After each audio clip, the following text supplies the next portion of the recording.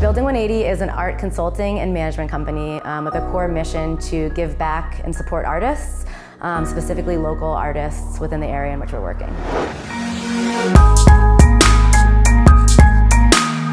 This was our first run at the AB 180 residency and we think it was a huge success. This summer we brought in five artists from different disciplines and backgrounds and we had them live and work at Agapolis.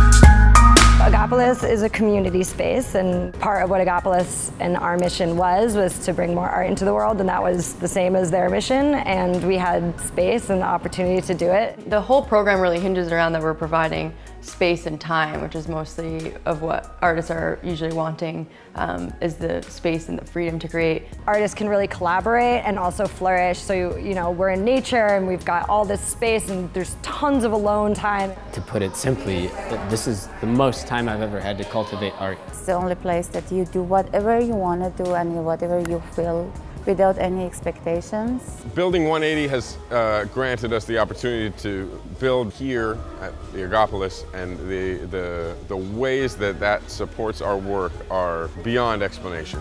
It's been crazy working with them and having their support and it, support that either of us ever really knew during a project. The added element of having Meredith and I to support you, um, there brings along a lot of business connections, a lot of business help. And since I've been here, I've been able to dream bigger and to get resources to do that.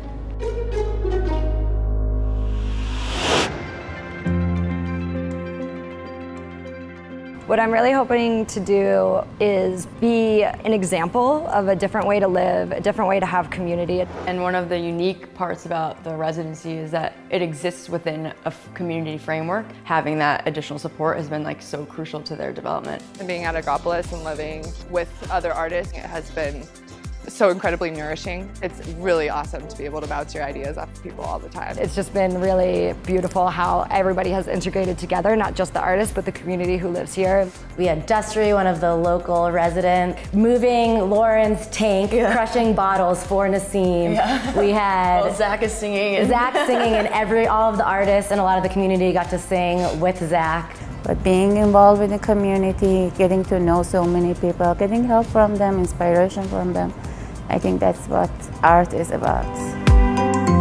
We couldn't have been more pleased with the success of the program and, and, the outcomes and all the people that you know rallied behind it. We want people to just come here and create because through creation are new forms and innovations that rarely without somebody else's agenda are we able to see come to light. It's been really incredible to see how each of these artists have such a strong message behind all of their work.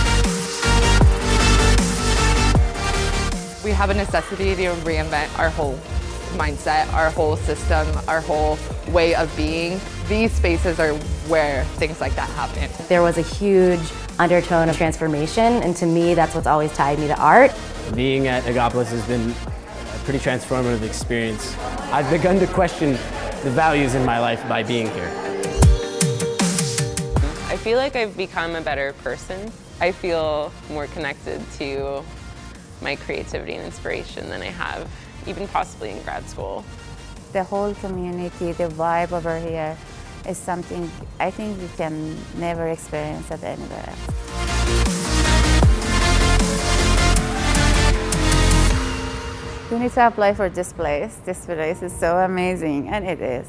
I truly believe it.